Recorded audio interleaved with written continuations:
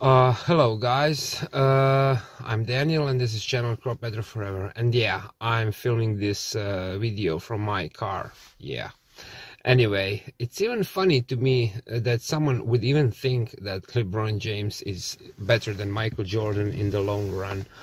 I mean, that's hilarious, that's just hilarious. Michael Jordan, in my opinion, is amongst, I don't know, three or four people in last 100 years never mind in from which area of show business i mean it doesn't even matter is it about sports or i don't know anything from show business. He's amongst three or four people who i could call a demigods. I mean he is amongst the people who are who impacted entire world considering their charisma and impact on society.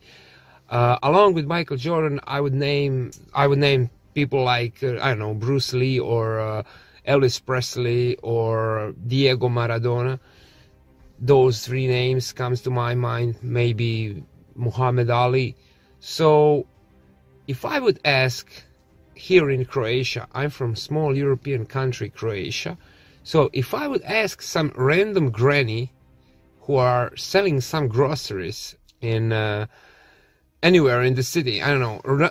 I mean, if I would come to the random granny who never heard of NBA, and that if I would ask her, "Hey, Granny, I don't know what's your name, Granny, but can you tell me who is Michael Jordan?" and he she would go like, yeah, I, I I heard about Michael Jordan, but maybe maybe she wouldn't know who who he was. I mean, maybe she wouldn't know that he even played basketball, but she heard of Michael Jordan.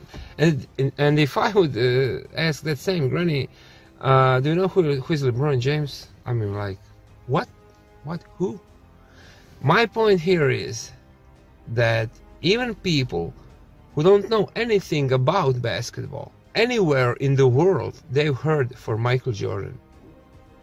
I mean, it's even hilarious to think he is the he he's not even he's not in from the same book with uh, LeBron James. He's another universe. Michael Jordan Michael Jordan is somewhere up there with uh, Elvis Presley, with uh, Bruce Lee, as I've said, uh, and Diego Maradona. When it comes about impact on world, if you combine impact on world, charisma, uh, po- popularity.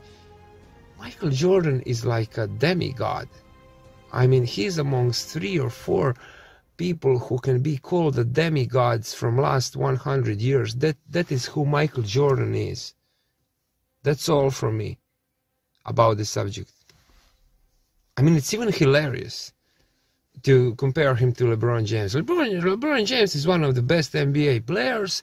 He is uh, one of the superstars, and that's it. One of the best NBA players. I mean, that, that's that's not a bad thing. I mean, but Michael Jordan, he is amongst the greatest humans, most known humans who ever lived in last 100 years. If you combine charisma, popularity, impact on society, and he's amongst three or four uh, demigods when it comes about show business uh, in last 100 years. That's who Michael Jordan is. So stop with that with that stupidity comparing him to some to some NBA player like LeBron James. I mean, yeah, LeBron James is a great, great, one of the greatest NBA players, but Michael Jordan, he's amongst the demigods. Amongst the demigods, not only from basketball, basketball, but from, but in general. In general. I hope you get my point. Take care.